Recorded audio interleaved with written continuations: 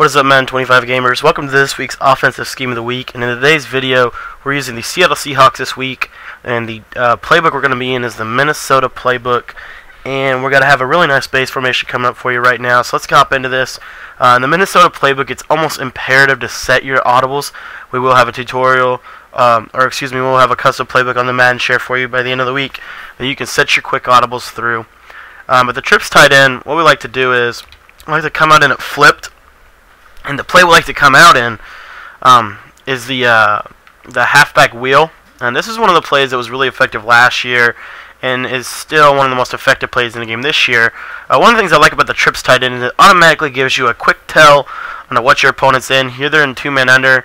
Um, and you see that if we want to run, we're going to have our quick audibles set up properly. We're going to show you how to do that. We're actually just going to show you right now what audibles we'll have.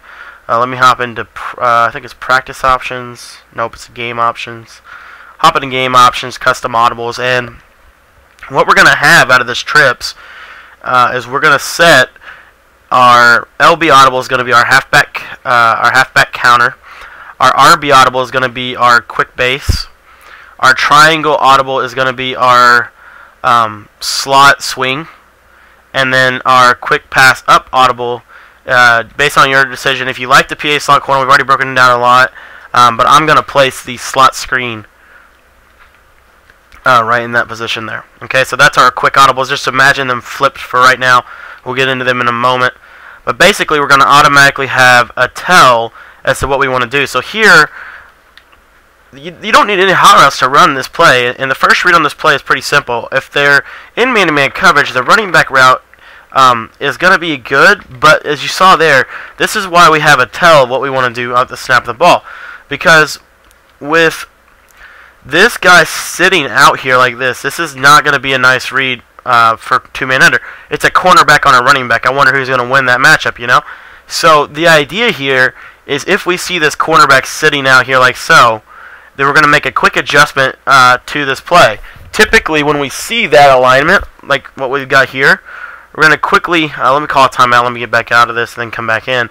Um, we're going to quickly audible to one of our other plays that we have in our quicks because the alignment gives us a really good look uh, to attack this defense. So what we'll do is we'll audible to our counter, and now we have a numbers game advantage. We have four versus their three, and you see we're off to the races here uh, with Marshawn Lynch. And a lot of times, you're going to break a lot of good runs, guys. A lot of people don't like to base align this season um, because of the fact that it, you know, it, this game's a lot more about a coverage-based defense than pressure because of the way the play-action blocking works in this game.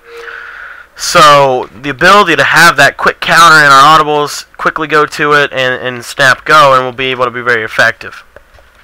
Now, if we want to throw the halfback wheel against this, then we're just going to make a quick, uh, we're just going to check out of the wheel. The wheel is not going to be a major read on this play.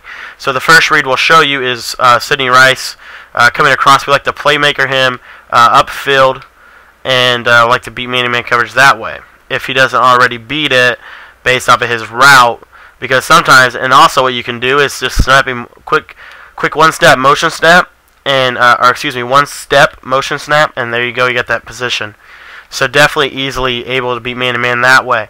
Second read is the wheel route to Golden Tate here. Uh, just like to click onto it and undercut it. Very simple user catch, something we've been doing many, many times this year already. Um, the third read is going to be this deep in route uh, to Miller. And uh, really like that route. It gets great separation against man. In routes are very underestimated this year. And then the last uh, read, the main read we're going to look here is to get this user catch with Percy Harvin. And obviously we'll have a different depth chart for this team, but, you know, just for right now, we're just showing you the plays. And then if we want to, late downfield, if nothing's open, nothing's open, nothing's open, we can make that user catch to Lynch if we want to. We can try to throw that up, maybe get a one-on-one. -on -one. Yes, it is a defensive back there. Yes, he is 6'5", but the idea is normally you won't even have to go to that. But if you do, um, it's normally like on a you know, they got straight Faggy. You see it's going to get over the top there. So, wanted to show you that. The running here, um, if they base align, and this is how we're going to run our, our main offense, if they base align, this is now a really good look for the 45 quick base. And so we'll just quick snap that quick base and run right up the middle and really destroy the defense that way. So two easy running plays that they really have to guard against. Otherwise, we're going to get really big yardage. And with the way that how good these Seahawks are when running the ball, uh, this is just a very easy. It's just a very easy uh, play. Now, what we'll do, what eventually they'll start doing is they'll take Browner here, and they'll slide him in. Maybe shift the linebacker over, get some more balance to that side of the field. Now, once they start doing this, that's going to open up that immediate halfback wheel route um, with the pass lead up, and you're just trying to get it over the guy, like we showed you earlier. Alright, the next play I want to go over is the slot screen. Uh, we like to use this against, you know, and you could just throw it to the slot if you wanted to. It actually gets pretty decent blocking. Um, what I like to do with this play is actually make it a halfback screen. So I'll put RB on a little swing pass, and then I'll take um, and that's really the only adjustment I'll do. And literally, that's my first read is to hit RB and go. I like to leave the slot screen on. Uh, and another thing you can do is motion. Um, you can actually motion uh, Lynch over, like so, and then snap. The cool part about it is if you try to put him on a wheel, he'll go on an out. See that? He's always going to be on an out. There we get him on a swing. There's the wheel. And so you can just try to play this game and and you know use quick screens and stuff like that. Wheel left, wheel right combinations. Not really any other read on that. Um, if they do user the screen, which you will see sometimes, what I like to do in that situation is I like to play a user catch game down the field with Miller. Pass lead him to the inside, and actually we threw it a little early there. But if you pass lead him to the inside, like right before, like a little bit before that, let's see if we can get some good timing here. But Normally, he'll get some super good inside position here because of the alignment. So right there, passing to the inside. And sometimes he'll just, you know, normally you won't have to have, you won't even have to do that. But what, what we're saying is, say they're using, they're going to bring Thomas down like so. They're going to do this. Now, say they see the screen, so to mimic that, we're going to put him on a flat zone to that side of the field. He's going to leave. You're going to have a one-on-one -on -one over top if they try to use as a screen. So they use the screen, and now all of a sudden we got a one-on-one over top. We can just pass lead up this and play a user catch game one-on-one with, uh, you know, whoever. So sometimes that's an option. And then if you wanted to, another thing you could do with this is if you don't trust that fade route, which I don't really trust it sometimes because of what you just saw, then you could just leave him on that streak, and when he lights up, just lob it up, and he'll just beat Browner sometimes. Obviously, we may recommend a depth chart substitution with a faster tight end in that situation, but the idea is if they're using the screen, you want to make them pay. And then in the last play I want to show you guys out of this formation is the slot swing. What we like to do with this play is we like to put Lynch on a wheel route. We like to put uh, Miller on an in route or a slant or whatever uh, you want to do there. We like to slide protect to the left. This is uh, a play we used last year. We like to motion Lynch to the right um, oh, wait. No, we can't motion him to the right. We want to put him on a swing to the right. I'm sorry. Act like we're running the slot screen, and this time we're just going to bail out with Wilson. And a lot of times against two-man under, it's a very effective it's a very effective play play call because a lot of times we're running the slot screen, we're running the slot screen, so they're going to start putting guys over there to stop that little slot screen that's really natting them for five, six yards at a time. And then if we go to the slot swing, and we maybe make some adjustments. So what I like to do is put Tate on an in route uh, and put Harvin on a deep out, Miller on an in route to create a little mesh, swing Lynch, and then you're gone outside the back end with Wilson. And if they're in man-to-man coverage, this is very effective. Um, I think Relly is the guy who showed that last season. It's still very effective this year. Another thing you can do with the slot swing route if you want to, bubble routes are very effective in this game for some reason. So you could maybe actually set up just a regular play, but the idea here is just to hit that bubble route and, and get upfield. It's pretty effective if they're playing off coverage, but it's you know it's not the bread and butter. The bread and butter is these running plays based off alignment and also the halfback wheel. Real quick, let's show you a read against zone.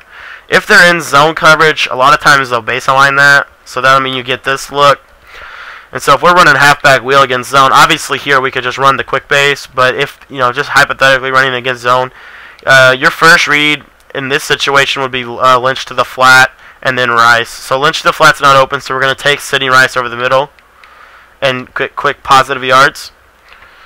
And then, um, real quick, uh, we'll look at this again. And then remember our second read is Golden Tate. Um, a lot of times he won't be open, but you can pass lead that up and try to try to make a user catch underneath it. Another thing you could do, remember our third read um, is to the in route to Miller. A lot of times this will be open, just pass lead him down, and you're just gonna you know try to user catch that. But the main idea here, um, Zone probably does the best job of stopping all the things we could do from this, but it's still gonna get torched uh, late. This deep post route, and that's why you need a good pass rush like the Seahawks on your side, so that you can maybe get some pressure with still you still need to have a balanced coverage because we'll show you what happens against a blitz in a moment. But the idea here is Rice is going to go deep, deep, deep, deep, and then pass it down to the inside, and he's just going to, or excuse me, Harvin, and just roast that zone over the top. Now, if they do blitz, um, real quick, that's just why we have both wheel routes. So here we'll we'll send a two-way pressure off of the edges and that's why you have those wheel routes, those quick reads, because if you're in trouble, you need to have that bailout wheel route that you can always hit uh, if they're not honoring the flats, and if they are honoring the flats, then that means the drag is going to be open. If the drags are, if the drag's open, or excuse me, if the drag is covered, then that means you know you're going to have something else open. There's just a lot of stuff to cover in this play. Takes away a lot of you know options for the defense really. Here we're going to hit the drag. They tried to go cover two on us to take the wheels away, and you see the, the effectiveness of that. So three quick reads at the snap allow you to do this. So thanks for watching today. This is the trips tight end. If you could do me a favor and retweet this video for me, I'd really appreciate it. Tomorrow we're going to be talking about the base man beater from this formation or this playbook. Hopefully you guys enjoy it. This trips tight end, one of the best base plays in Madden 25. And I would appreciate if you guys leave a like rating and let me have let me know any questions you have on this and give me your feedback on the commentary and the play. Thanks for watching, guys. See you tomorrow.